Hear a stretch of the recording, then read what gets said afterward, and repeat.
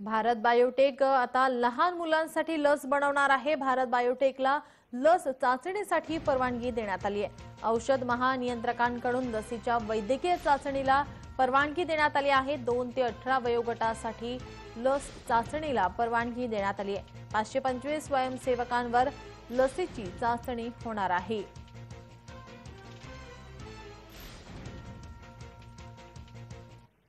भारताच्या D C G आयने corona प्रतिबंधक लस कोवॅक्सिन याची निर्मिती करणाऱ्या भारत बायोटेकला वय वर्षे दोन ते अठरा या वयोगटातल्या मुलामुलींसाठी लसीच्या चाचण्यांसाठी परवानगी दिलेली आहे. या लसीसाठी सर्व लहान मुलांना द्यायची असल्यामुळं ही भारत सरकारने सर्वांना मोफत देणं हे आवश्यक आहे.